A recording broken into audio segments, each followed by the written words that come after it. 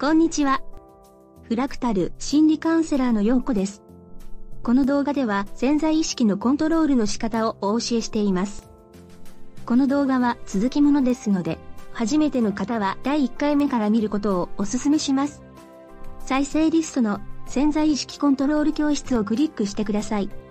お急ぎの方は最初の4本の基本講座をご覧くださいね。前回はアファメーションをお教えしましたね。これは意識をフォーカスする方法です。潜在意識は過去の意識でしたね。現在のあなたは現在意識です。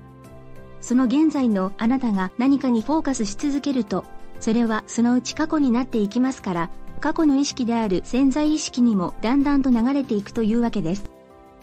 特に若い人にはとても良い意識の集中法ですので、ぜひやってみてくださいね。アファメーションの言葉は、自分がフォーカスしたいものについて、自分で考えて決めます。第14回では、仕事の価値がまだわからない人のためのアファメーションとして、仕事はとても面白い。私は仕事で成果を出すというような言葉を紹介しましたね。これを唱えていると、だんだんと本当に仕事が面白くなってきて、そして小さな成功体験ができるでしょう。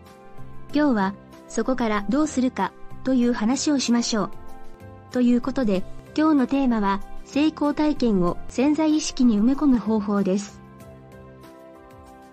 もしあなたがまだ仕事の経験が浅く成功体験がなくても小さな成功体験はもうあるかもしれません。仕事でお客様に喜ばれ、それが上司に評価された時はとても嬉しいですよね。それから自分が何か重要なことに気づいて会社の損失を防いだという体験があるかもしれません。そんな時はちょっと誇らしいですよね。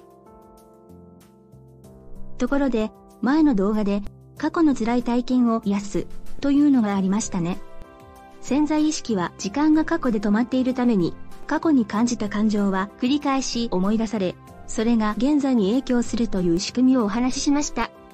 このシステムを今度は成功のために使うのです。つまり、ちょっと嬉しかった、ちょっと誇らしかったという小さな体験を集めて、その時の気分を繰り返し味わうのです。すると、仕事は面白い、仕事で成果を出したいと感じることができるので、その意識がだんだんと増えていきます。もし、仕事ではまだ全然そんな体験がないという人は、学生の頃を思い出してみましょう。